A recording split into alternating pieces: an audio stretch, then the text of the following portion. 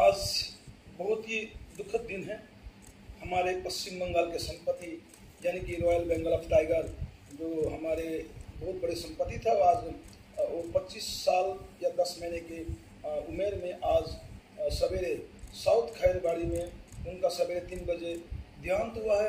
ये मर्मावी घटना को सुन के हम लोग सब दुखी है, और इसीलिए मैं सभी से अनुरोध अनुरोध करूँगा, हमारे जितने भी हमारे जितने प्रेमी हैं वन प्रेमी और वन प्रेमी और जीव जंतु को पूरा रक्षा करे, साथ में देश की उन्नति को लेने की प्रयास करे। सभी से मैं रिक्वेस्ट है प्लीज़ प्लीज़ प्लीज़ वन संपत्ति का रक्षा करें और वन्य जीव का रक्षा करें।